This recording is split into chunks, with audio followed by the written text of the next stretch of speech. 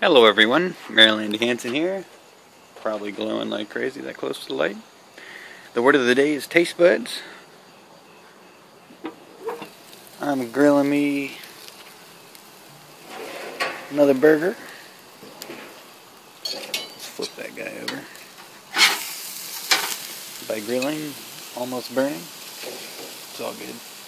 It's a late night grill. I don't have much to say. que é só ser, irmã?